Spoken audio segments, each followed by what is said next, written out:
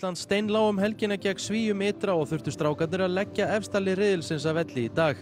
Írar höfðu spilað fjóra leiki á þess að tapa. Það var lítið búið að gerast í leiknum en eftir tæpan hálftíma fekk Ísland hotspinnu. Ari Leifsson náði skoti sem fór í höndin á varnamanni Íra og vítaspyrna dæmt. Sveitnar Guðjónsson fór á punktinn og skoraði að miklu öryggi. Írar mistu manna velli í síðara hálfleik þegar Líó Connor braut á Jóni Degi og uppskar sitt annað gula spjald.